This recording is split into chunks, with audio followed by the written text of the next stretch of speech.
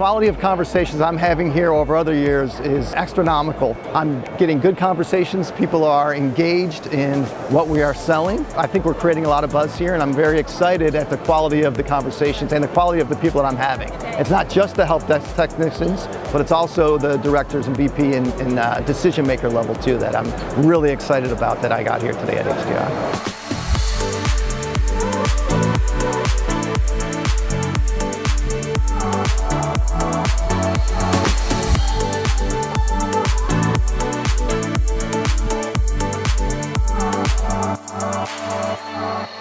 Quality of our uh, conversation has been fantastic, and as they always are at, at this show. You know, we've we reach our customers that uh, they really want to learn more about our products. So they're asking about what's the latest releases, what are the new capabilities that we should be considering, you know, best practices. So it's always great to, to speak with them. And for those that are not our current customers, it's, hey, they're, they're, they're looking to start their digital journey. You know, they're looking to, uh, you know, transform a lot of the ways that they're, they're currently doing their work.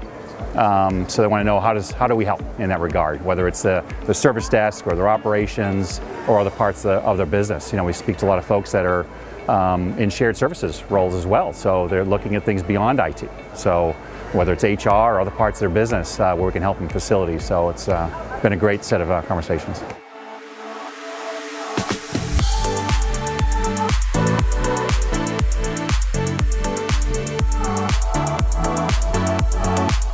Looking to get into service desk professionals, not necessarily help desk professionals, but service desk and IT service management, and even network side of it. This is a great place to be.